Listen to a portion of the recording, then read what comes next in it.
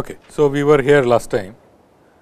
Um, we were trying to estimate this sum, which we used uh, the Cauchy Maclaurin formula to estimate to be this. This we treat as error term and we estimated the error to be this bounded by this quantity. So, what we can do is therefore, we can write this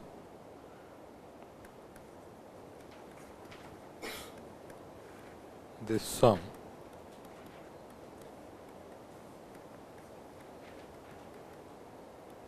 To be equal to this minus this plus this. And this is also sort of error term in the sense that 1 over z plus 1 1 over z plus n. This is also 1 over z plus 1 1 over z plus n. So, that is like uh, where are we? Log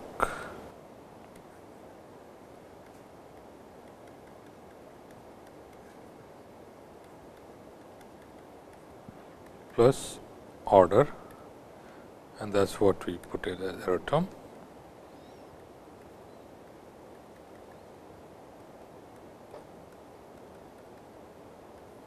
Now, going back to this original estimate, you remember what we were trying to actually do is to estimate gamma prime over gamma, where z is in this interval and we derived that in this interval gamma prime over gamma and gamma in absolute value is bounded by absolute value of this quantity and this we just now estimated well almost we estimated this by that quantity.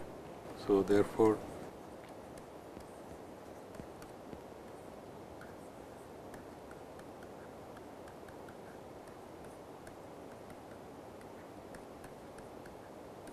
So, this is equal to this. This is bounded by order 1 plus order 1 over z plus 1 plus 1 over z plus n plus log of z plus n. In fact, let me put this in absolute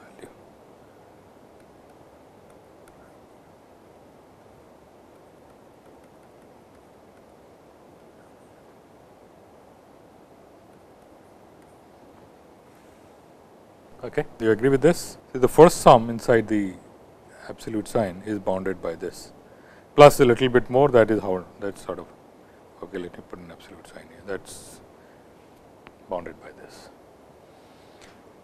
And uh, the last one sum over n of 1 over n is about log of capital N plus this Euler's constant which is order 1 so that goes out. It is important to keep the signs here because as we will soon see this is order 1 plus order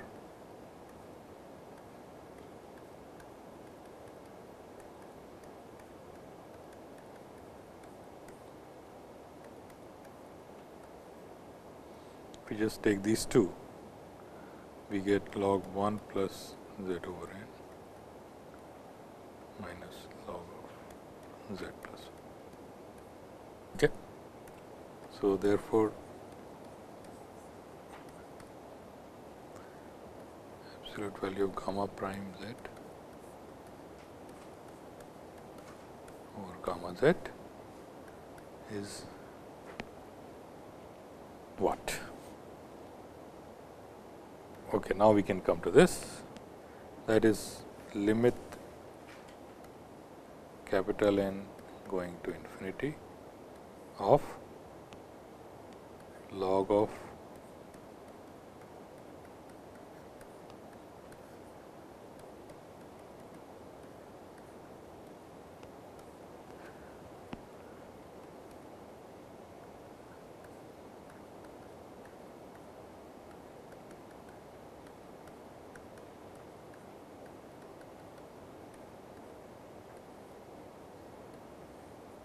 right and what is this?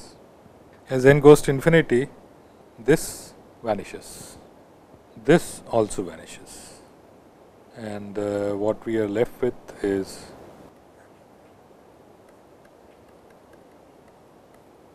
in absolute value plus order.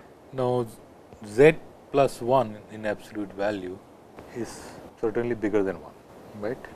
For the z that we are interested in right now. So, this is all order 1. Let me just mention this for z in the interval minus u plus i r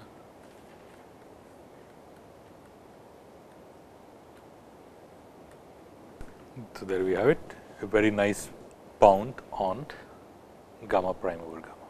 Now, if we go all the way back, what were we trying to do? We are trying to calculate the integral along this line and what was inside the integral? Zeta prime over zeta. So, let us just go back and recall whatever we have left behind.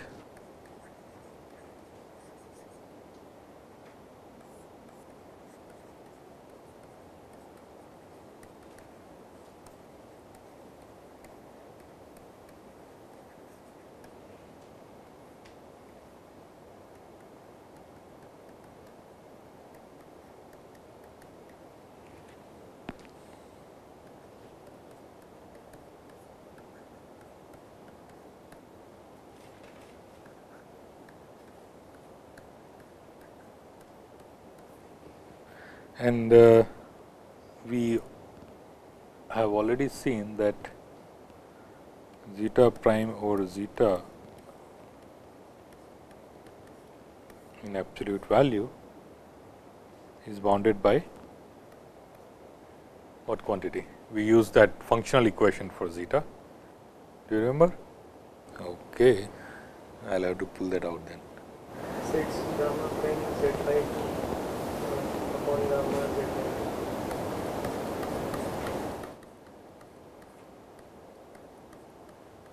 Plus gamma prime 1 minus z by 2 upon gamma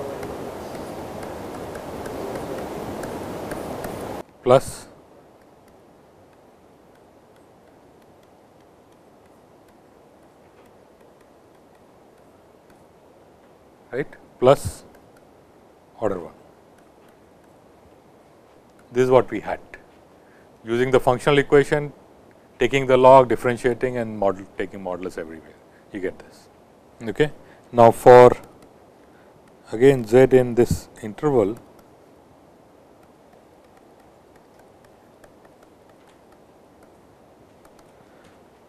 what we observed was that zeta prime 1 minus z over zeta 1 minus z is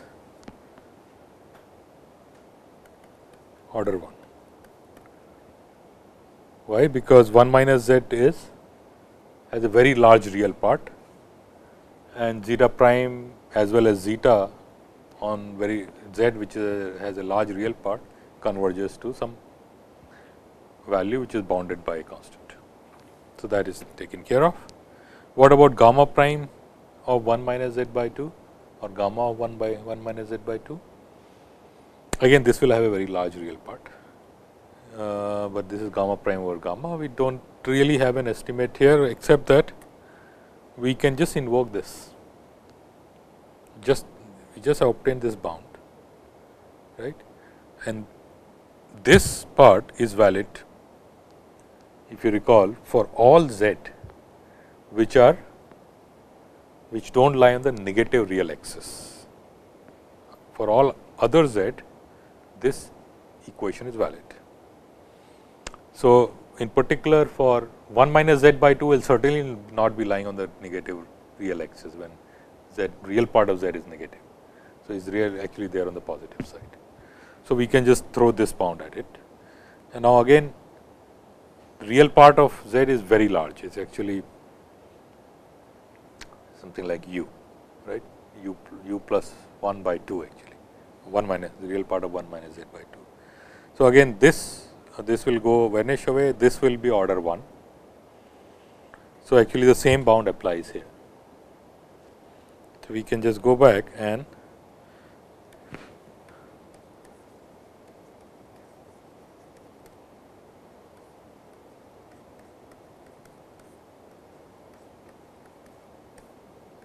is log of 1 plus z by 2. This is what we get from here. Gamma prime z over gamma z is this and here we have gamma prime z by 2 and then we have gamma prime 1 minus z by 2 which is log of 1 plus 1 minus z by 2 plus order 1.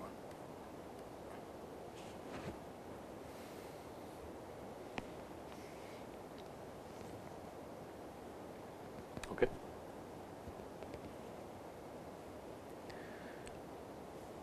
Now, if you recall this log of absolute value of log z is what?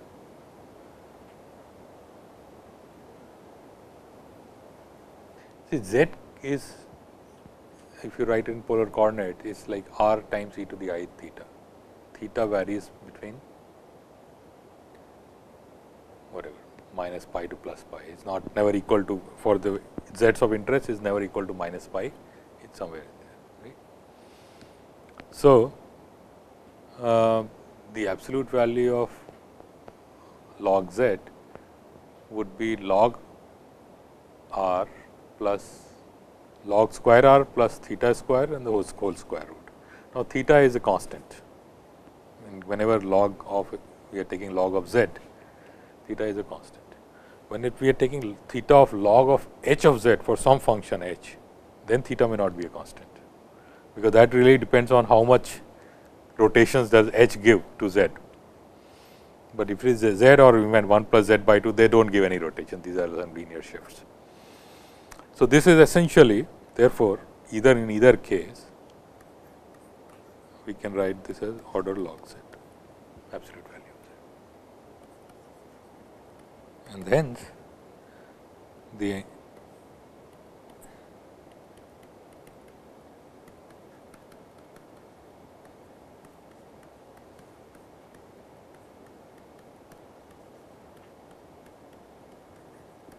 when we try to bound this we get less than equal to integral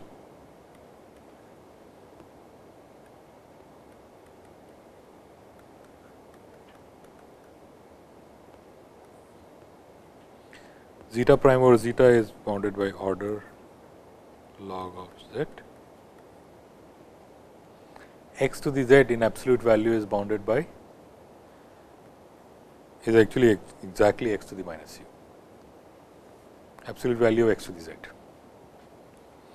And absolute value of z is at least u. So, since it is in denominator, we stick that u there, this and this is equal to again now this everything is simplified. In fact, absolute value of z we can put an upper bound which is square root of u square plus r square right? And then take everything out. The integral is just 2 i r. And so we just get uh, order r log of r square plus u squared u x to the and this is perfect for us because remember our target was to send u to infinity and when we send u to infinity this vanishes. Remember x is bigger than 1 right x is x was the number of x was that number such that we want to count prime numbers less than equal to x. So, it is always going to be bigger than 1. So, either x to the u sitting in the denominator, u sitting in the denominator, in the numerator is only log u. So, it always vanishes. So, that is good. Now, this takes care of this integral. Now, we look at this, well these two are cousins. So, if we take care of one, we will take care of the other, because this really is symmetric stuff. So, we have to take care of this. Now, let me go back and draw this, because that is where the fun begins.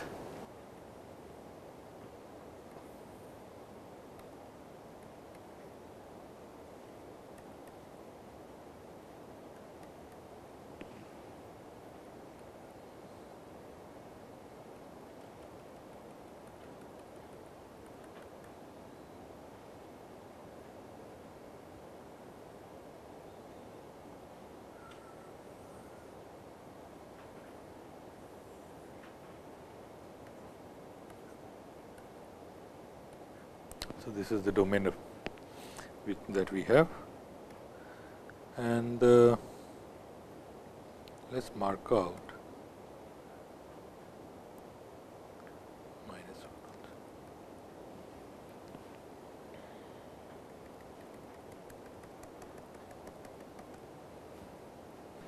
1 Now, and this is C. C if you recall was 1 plus 1 by log x, which is less than 2. Fine. So, the integral here is uh, starting from here it is from c which is a number slightly bigger than 1 going all the way to minus u and stays the imaginary part stays at i r. Now, as we traverse around here and remember keep in mind the what we are integrating we are integrating zeta prime over zeta times x to the z over z.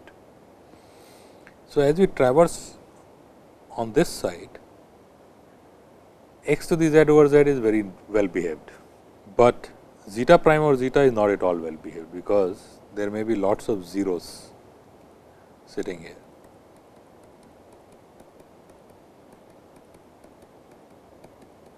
right. So, we need to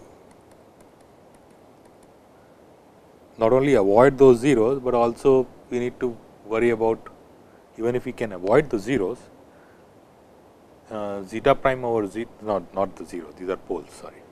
We not only need to avoid the poles, we also need to make sure that the path we take as we zeta prime over zeta does not become too big, because if it becomes too big then we cannot um, you know, the make the error term small. On the other hand, once we are cross this boundary and we are on this side, we know there are no poles and actually we know we are far away from any other pole, because the remaining poles are here. So, these are just a good region for us to integrate and further can be maybe a little unsure about this part, because there may be a pole very close by and by the time we have come here we are still not ready, we have still not got rid of the effects of that pole. So, what we will do is we will split this integral into two parts. One is from here to here c to minus 1 and second part is minus 1 to minus. This one be this will be easy to handle. In fact, I will handle it in 2 minutes using the tools we have already developed. This will be not so easy to handle. So, we will then move on to handling this one. So, what about this one? So, if you look at integral of minus 1 minus I r to minus u minus I r zeta prime z over zeta z x to the z by z dz the absolute value this is bounded by again we take the modulus inside. How do you bound zeta prime over zeta? Again recall the functional equation, we just go back. This, this holds. Why does this hold? Okay, we have to be a little more careful now. Z is less than equal, the real part of Z is less than equal to minus 1. That is another reason for you know going minus 1 and below if real part of z is less than equal to minus 1, what about the real part of 1 minus z? We are at this equation. Real part of 1 minus z is going to be greater than equal to 2 and when it is greater than equal to 2, well zeta prime of 1 minus z over zeta of 1 minus z is bounded. That we know anything above 1 is bounded. So, for 2 it is surely bounded. So, this goes away. So, we therefore move in to oops this part zeta prime over zeta is bounded by this sum uh, this plus this plus whatever. Now, what about gamma prime over gamma? Well, we already derived an expression for gamma prime over gamma that is valid here. The only invalid was part was when negative real axis that is valid here. So, we can just throw this in and we still get order log of absolute value of z right. So, doing all this we get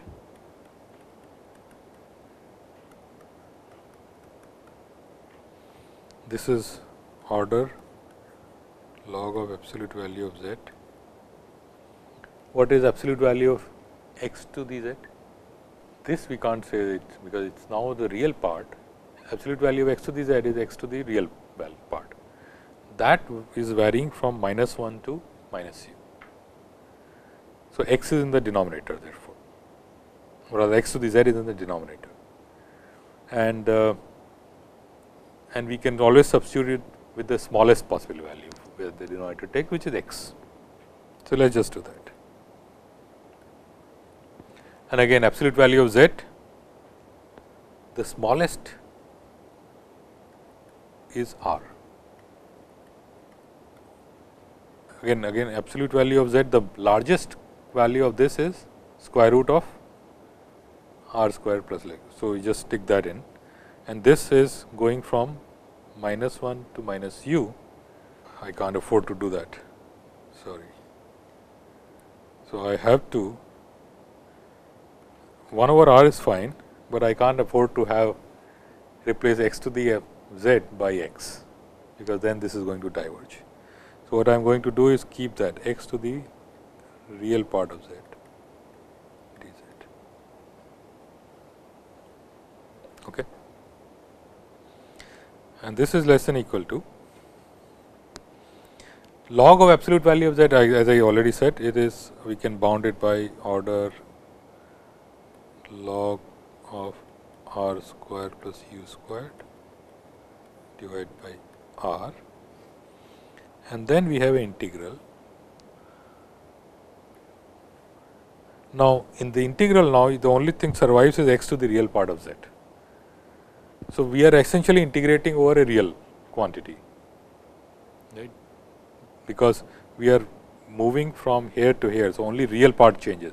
So, in dz also you only move the real part. So, basically this is to u 1 over x to the t dt.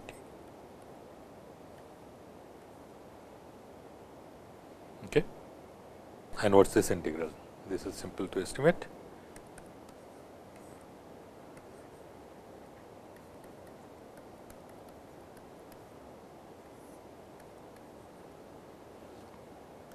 Integral of this is uh, going to be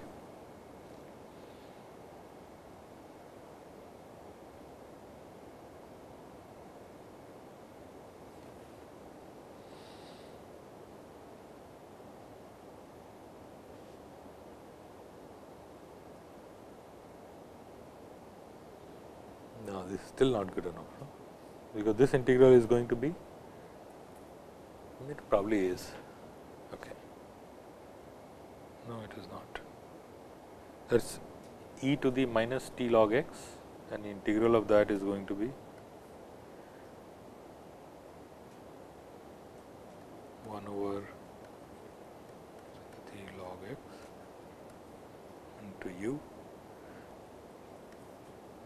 absolute value of this for min t equals minus 1 eh, t equals 1 is 1 over x log x and that is what worries me.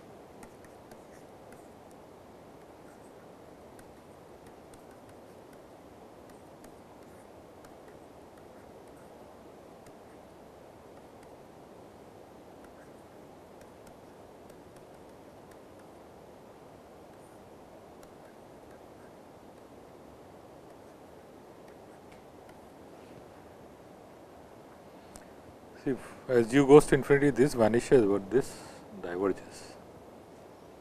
So, I made a mistake somewhere. This is fine. Maybe I should not have replaced this absolute value of z by r.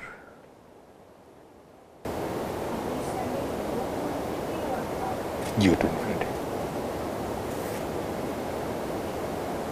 We will never send r to infinity. Uh, we will at some point but only for a short while.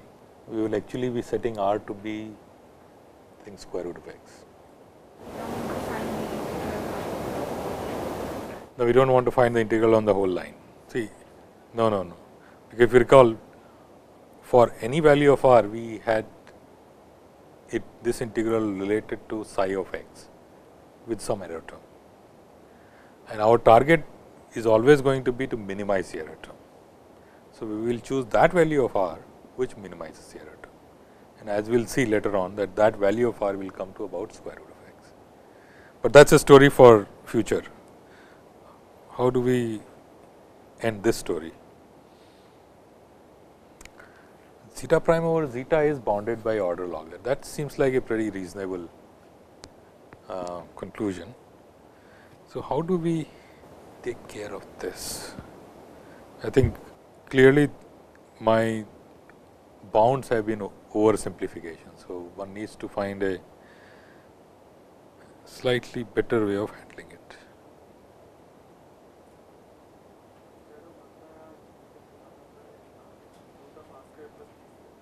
Maybe, yeah, maybe I should do that instead of, in fact, even in log mod z, I should just replace it by log of root of r square plus t square and then do the integrals.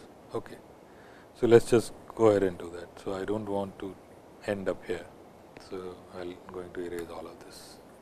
Let us go back and uh, here we replace this by take order outside absolute value and now t we are going to send 1 to u. What is order log z? It is log of r square plus t square, right. In the denominator we get x to the t and for mod z we get r square plus t square square root dt. Okay. Now, how do you integrate this? Can one find some easy estimates here? I think so. See what we can say is, we can say that surely that this is order 1 to u and notice that log of this quantity is upper bounded by this quantity to the epsilon for any small epsilon. Right, and there is some constant multiplier that gets absorbed in this order. So, we replace or this by this upper bound, which then gets absorbed in here. So, we get dt over x to the t r square plus t square half minus epsilon. Okay. Now, integrate this. How do we integrate this? Well, we can try many things, because again, again we just have to worry about some upper bound to this. We do not have to worry about exactly evaluating this integral. So, what would be a good way? Suppose we throw away r square here, this is still remains an upper bound and then t square becomes t to the t square to the half minus epsilon becomes t to the 1 minus epsilon. So, t to the 1 minus epsilon divided by x to the t, if you integrate, what do you get? Oh, let me say, let me keep r square, because that might be useful later on. So, if you integrate this by parts, let us say, can't seem to figure out, sorry. T square equals u, that messes up things. T square equals u, I can do that. So, it's r square plus u, but then this becomes, there is a square root u also which locks in somewhere, right. And this becomes x to the square root u. That's not, that becomes messy.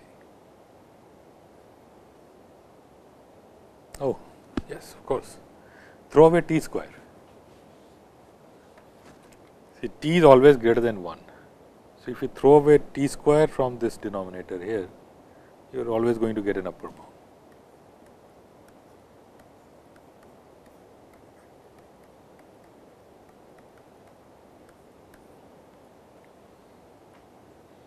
Okay. And now, this is an easy integral that is um, like 1 by log x x to the t r to the 1 minus epsilon 1 to u.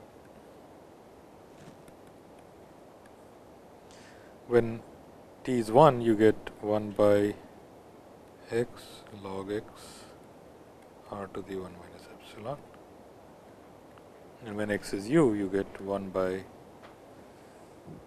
log x r to the 1 minus epsilon times x to the u. And so, this is always 1 plus x log x r to the 1 minus epsilon, right. Anyway, this will go to 0 and good. So, that gives us a good estimate of this integral. This part of the integral, which is also same as this part of the integral. So, it is more the same thing, there is no difference. So, what is left is the messy one.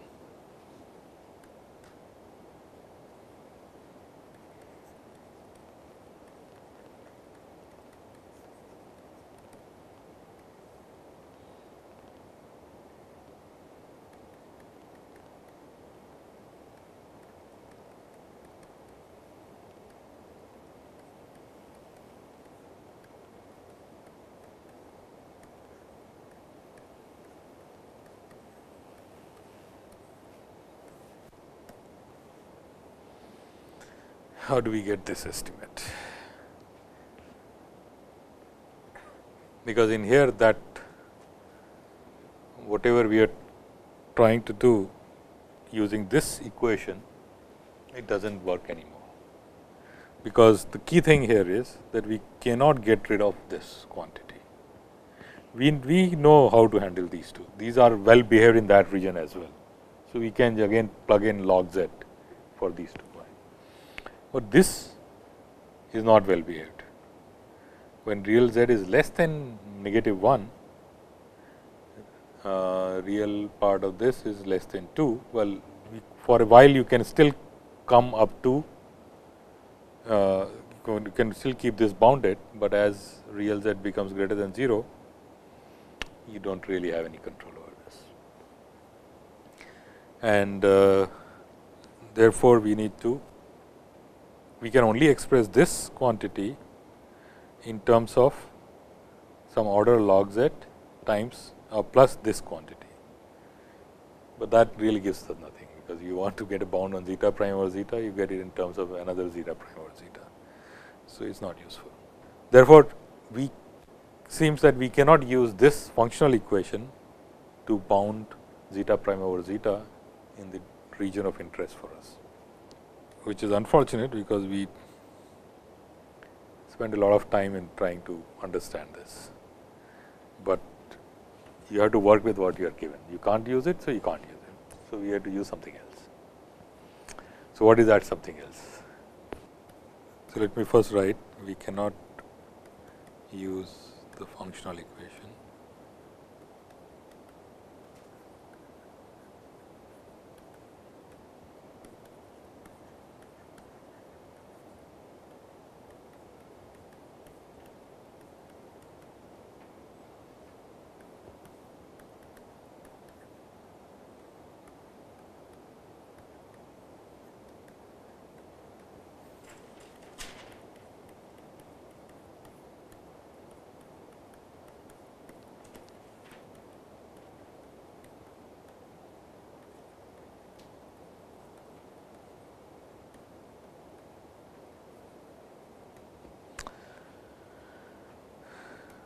So, as I said we use something else and that something else fortunately is not something totally new. It's we can again reuse the tools we have developed, but we have to approach it slightly differently. And the approach we are going to adopt is uh, define another function which we call xi.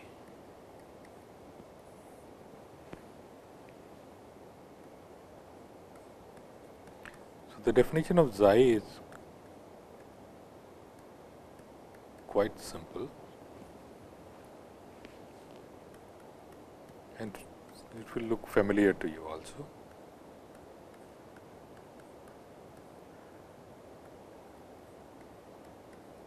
If you recall this, the last three quantities in this product occur in the functional equation. In fact, xi is motivated from the functional equation. If you further, if you recall that uh,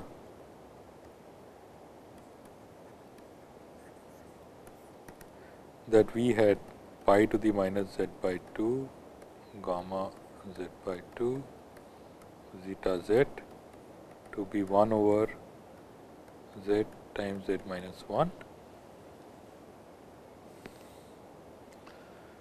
Okay, now I'll really have to remember what it was. Plus, maybe there is a minus here. There was a 1 to infinity t to the z by 2 plus t to the 1 minus z by 2 w t dt.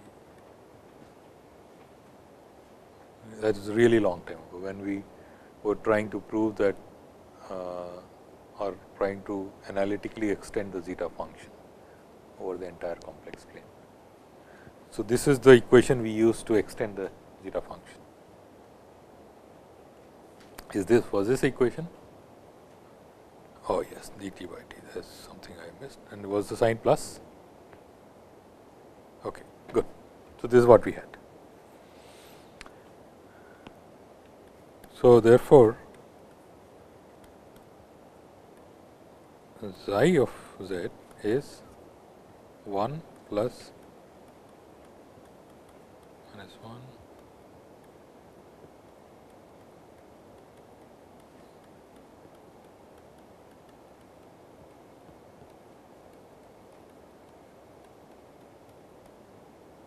is this good so, let us spend a couple of minutes on understanding xi of z. First, is it defined over the entire complex plane? Yes, maybe except for some maybe some poles it is defined over entire complex plane, because zeta z is defined over the entire complex plane except for one pole. Gamma z by 2 is defined over the entire complex plane except for those infinitely many poles and this is of course, these are defined over entire. So, xi z is defined over entire complex plane is, is meroform, let us say is meromorphic function. So, it may have some poles. Okay.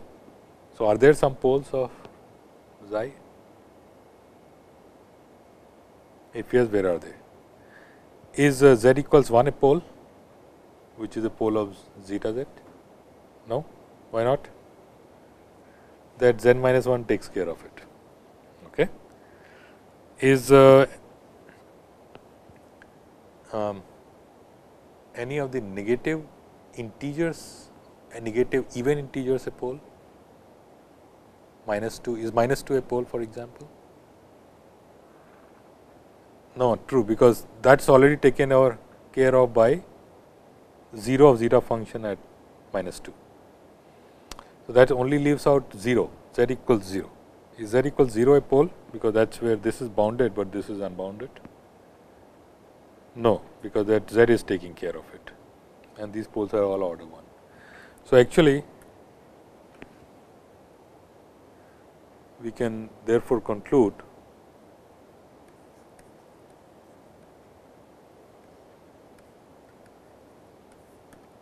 that xi is an entire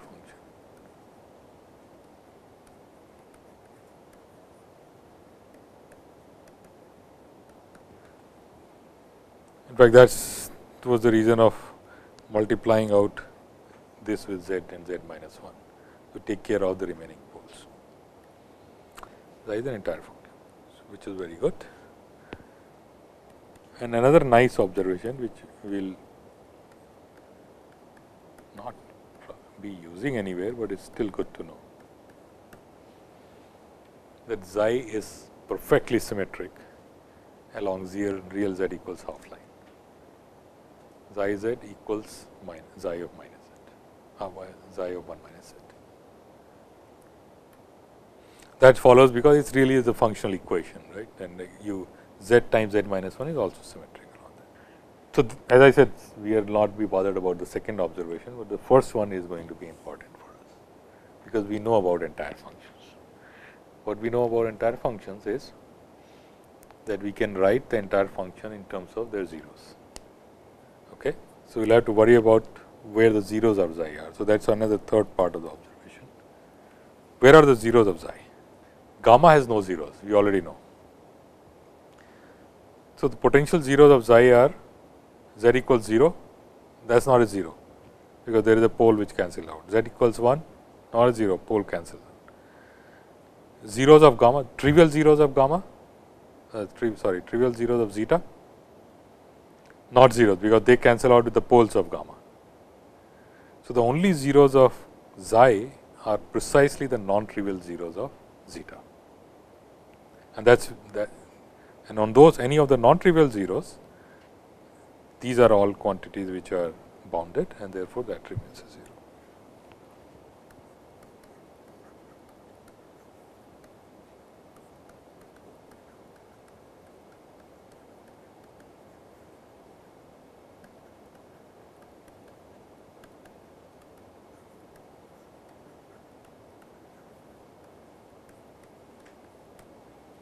So, now you see the usefulness of xi. It is entire function. So, we can use that product formula to write xi and in that formula all the non-trivial zeros of zeta will occur. These are the zeros that we are worried about, because these zeros give rise to those poles of zeta prime over zeta that we need to avoid in order to bound the integral. So, now we will study xi to derive some um, facts about those non-trivial zeros of zeta. Okay. So, that is going to be our next task. So, we are done for the day.